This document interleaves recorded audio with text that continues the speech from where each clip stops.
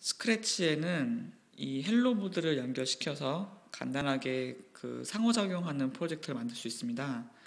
제가 이걸 한번 실행해 보겠습니다. 어, 헬로보드 안에는 여기 안에 빛 센서가 있는데 이 빛 센서를 그 저 태양 태양이랑 연결시켜 보았습니다.